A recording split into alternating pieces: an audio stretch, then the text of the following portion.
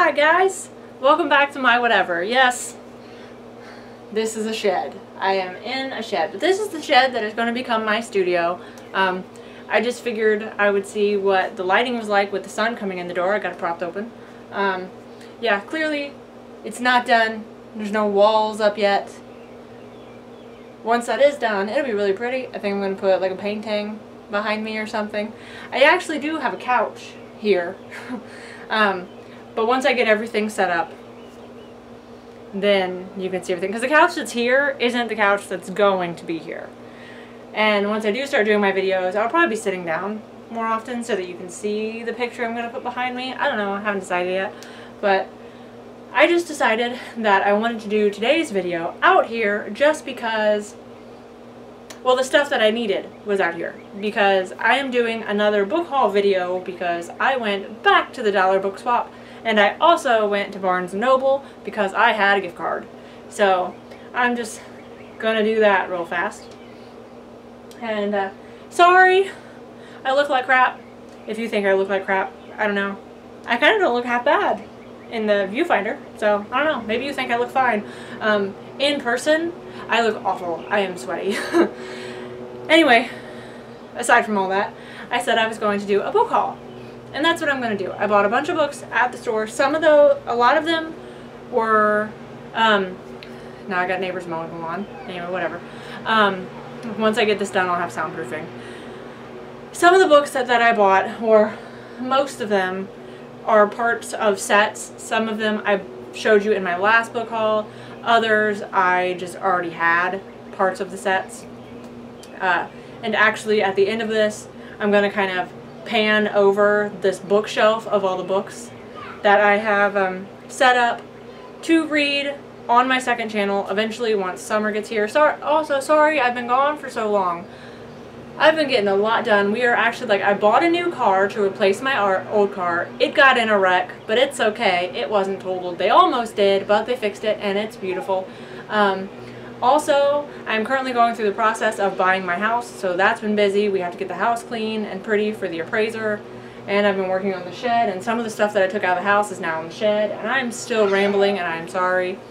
But like I said, I plan on, um, once summer is out, to go crazy with making videos because I won't have to stop to run my daughter to and from school all summer long. So, once she's just home, she's pretty self-sufficient, she can get herself a snack and turn on TV, and then I can just, I don't have to deal with it. I can just get up in the morning and I can go to work. So, anyway, on to the book haul. Okay, what do I got? Again, my books are behind me. Again, they're not in perfect order. I tried to make it a little better than last time. Okay, this first book that I got, I got at Barnes Noble. Not that it really matters, but if I can remember, I'll tell you. The last time I told you that the reason I started this channel was because I had a friend who, my friend Harleen actually, she doesn't really like to read, but she does like stories. So I started it so I can read them and she can listen to them, kind of like audiobooks. And the book that she really, the series that she really wanted me to do, I feel like I'm to sneeze. Nope. The series that she really wanted me to do was Serafina. Now there are two books out and the third book is on its way. Um, the first book I showed you last time I bought was Serafina and the Black Cloak. This time I bought the second book because it's the only other one out right now. Serafina and the Twisted Staff. I'll get to reading them eventually. I'll get to reading all of them eventually because I haven't even finished one whole series yet. I told you, summer's coming. Alright, so that's one. Um, again, I don't really know anything about this book. Uh, this, what does this say? Um, Serafina's defeat of the man in the black cloak has brought her out of the shadows and into the daylight realm of her home. I don't know. We'll see if it's interesting, you know, once I read the first one. Either way, even if I don't like the first one, I will continue to read these. And I plan on maybe someday down the road doing, um, what do you call it, when you explain, book reviews. I might do those. That's definitely a thought. Um, okay, this one well, this is actually two books. It's a set of two. Um, I don't know. Okay, Chris Colfer. He's also an actor who played in Glee, but he has written books called The Land of Stories. Now, I don't, there's, four of those books. I don't own any of them yet, but there's also two spin-off books. Now I have read the actual stories, all but the final book, I believe. Um, and I love them. I just don't own them yet. But I did buy, I haven't read these yet, they're two spin-off stories. And anyway, The Land of Stories is these two kids, a brother and a sister, that their grandmother gives them a book. And it's a book of fairy tales. And then they get sucked into it. And then, you know, they're in this book with all these fairy tale characters. And lots of stuff happens while they're in this book, as you can imagine. So, the two spin-off books are Queen Red Riding Hood's Guide to Royalty and The Mother Goose Diaries. Now, I don't know exactly how these are written. These ones might not be read on my second channel. However, the actual stories themselves will, as in books 1 through 4. I don't know about these because they're kind of weird, but this is the, um, the cover for the box of these two. I guess that's a uh, red. Oh, here's, here's the, the back of the book. The back of the, sorry, the back of the box. That is shiny. Okay, so I guess this one is Mother Goose Diaries, and this is uh, Queen Red Riding Hood's Guide to Royalty. So, I don't know what they are. What is this? The Guide to Royalty, the premier, the premier guide for anyone who is royal, or who might one day become royal after narrowly escaping death by a wolf. and the Mother Goose Diaries, Mother Goose opens up about her centuries of adventure. So, Mother Goose is a pretty interesting lady. I definitely want to read that one. Um, also, I do remember last time I told you that I got the book Pendragon because it sounded familiar and I realized later, I think I put a little excerpt in it, that I remember the name Arthur Pendragon as in Knights of the Round Table and that I, that is not what that book is. Again, I haven't read it yet, but I know that that's not what that is. However, I did say that I wanted to read that first book to decide if I wanted to buy the rest of the books. Clearly I changed my mind because I bought a few more of them. I think one of them was missing because book one was, let me see if I can see it on my shelf. Book one was The Merchant of Death. The bookshelf is right behind the camera, by the way. Um, and then I bought book two, which is The Lost City of Faar, F-A-A-R. I'm going to have to look that up. Um, book three, can't see because sticker's covering it. Oh, The Never War. Book four is The Reality Bug. Book five is Black Water. Is and then I book six is the Rivers of Zadaa. Another one I'm gonna have to look up. Z A D A A. And then I don't have book seven, but book eight is the Pilgrims of Rayne. So I really hope I like these because I bought almost all of them.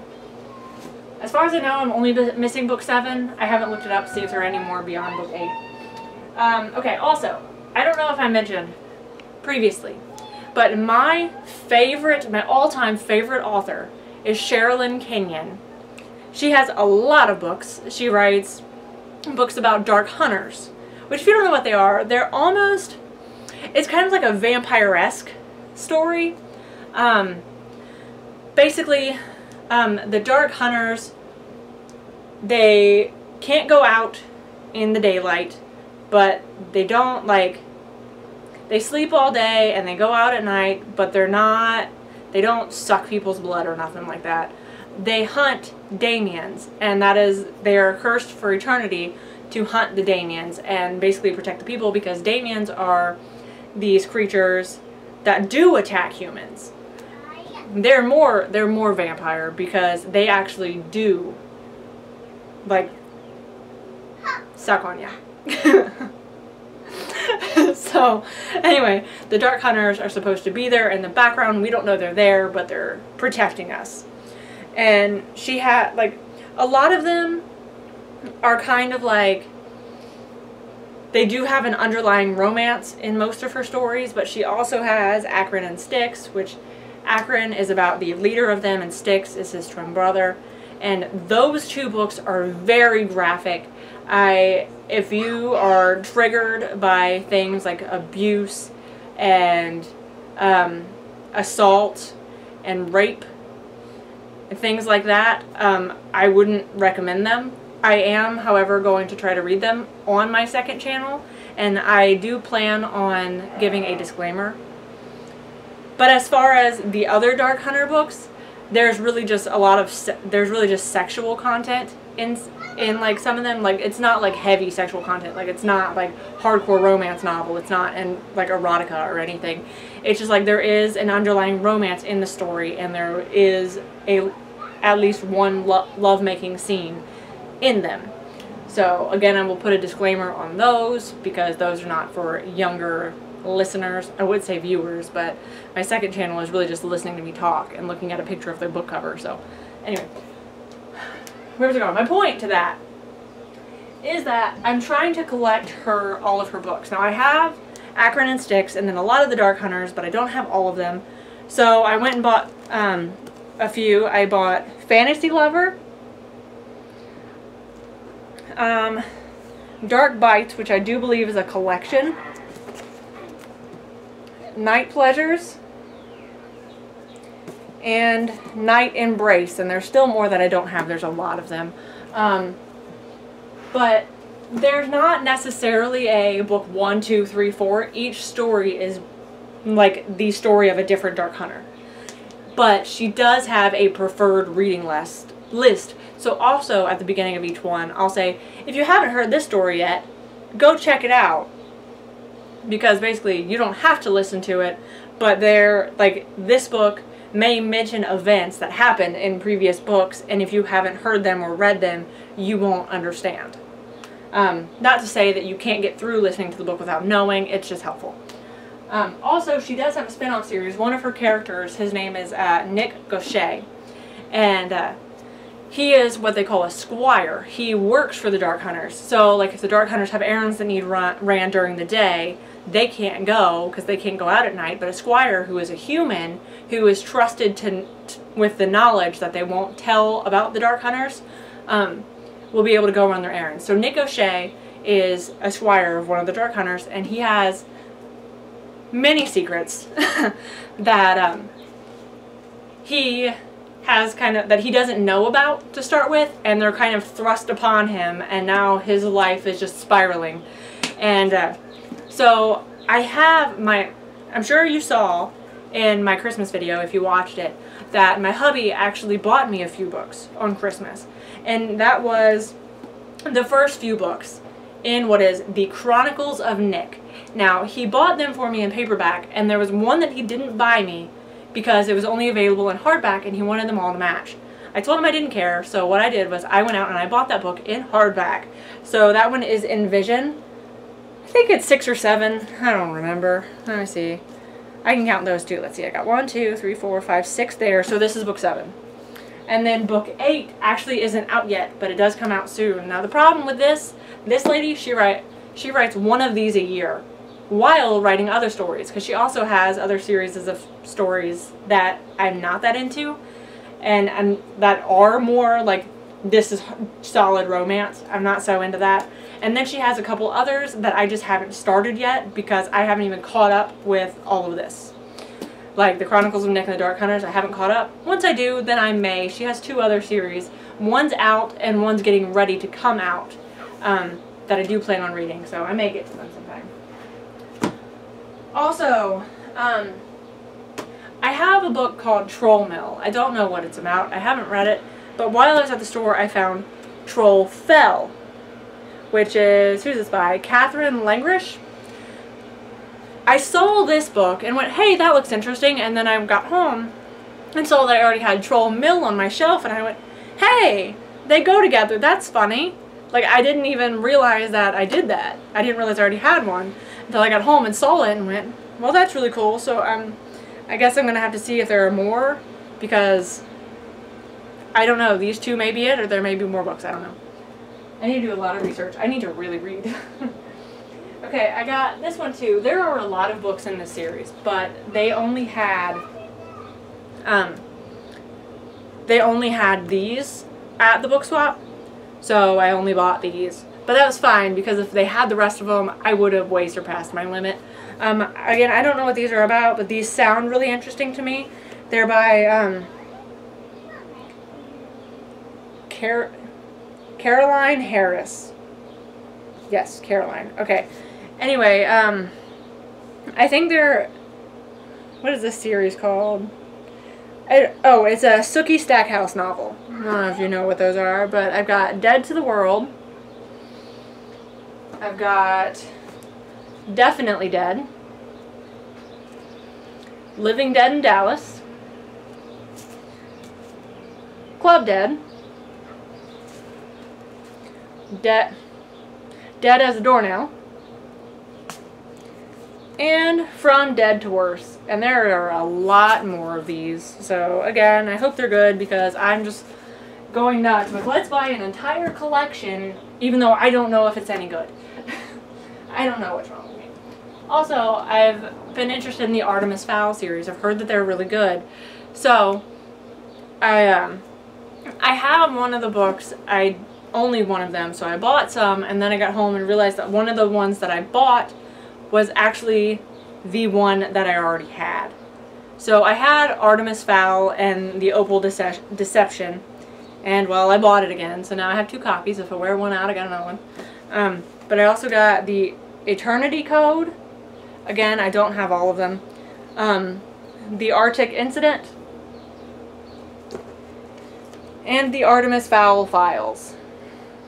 So these are from, I don't even know how to say that, and I don't even want to try. It's E-O-I-N. Owen? Spelled funny? I don't know. Colfer? Owen Colfer, I think. E-O-I-N. I'm not sure. Again, another name I need to look up. And I'm almost done, I promise. I just have one more stack, but they're like not groups.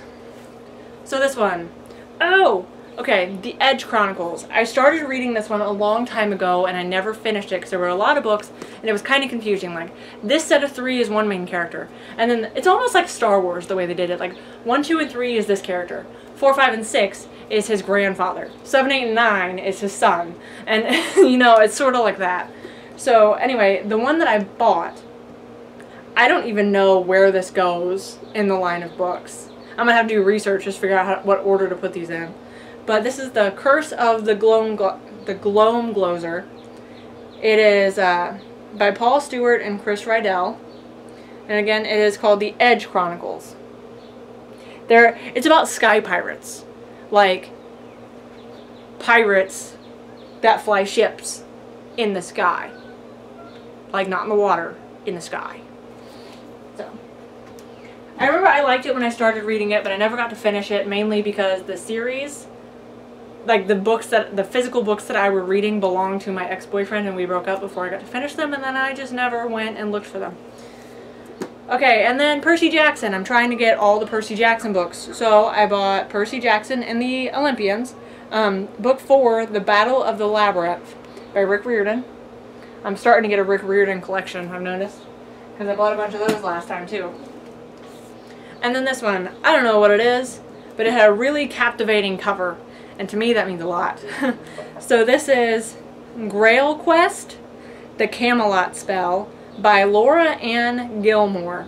No idea, but there's a dragon on a pile of gold on the front, and that speaks to me.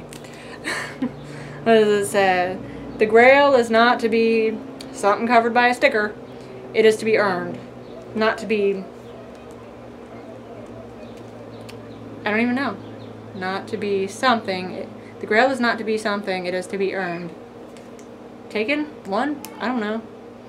Now, on the eve of the quest for the Holy Grail, every adult in King Arthur's castle falls into an enchanted sleep.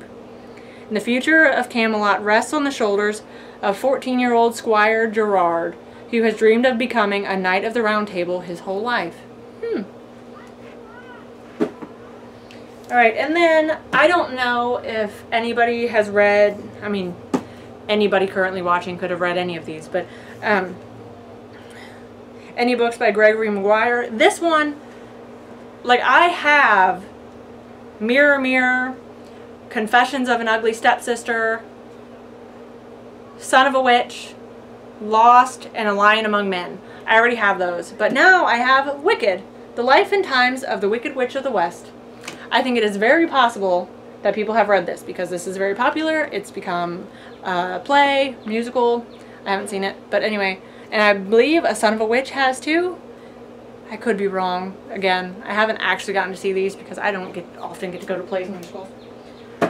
I wish I could. I love plays and musicals. And then the last one, another book that I don't know what it is, but the cover was capturing.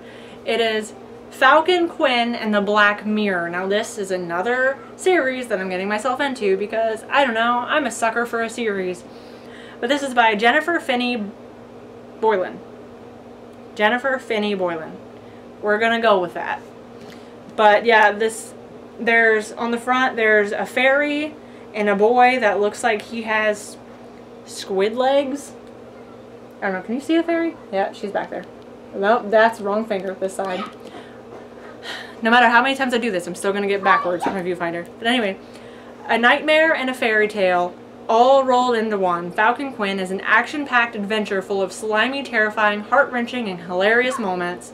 Mostly, though, it's about letting your monster off leash and learning to trust it, fur, fangs, slime, and all.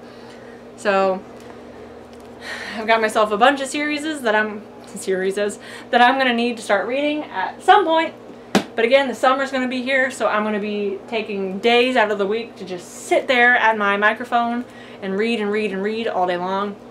So hopefully I can get a good chunk of books read through summer vacation. And as promised, I said I was going to do a quick pan of the shelf of the books that I definitely planned on reading. Or I think, I think there are three books in there that I'm not going to read. They just kind of wound up out here. Um, one of them, see, one of them is actually like a guidebook for a series that I do plan on reading. So that book itself won't be read, but the series will, so I'll just, I'll leave them in there. Okay. We've got...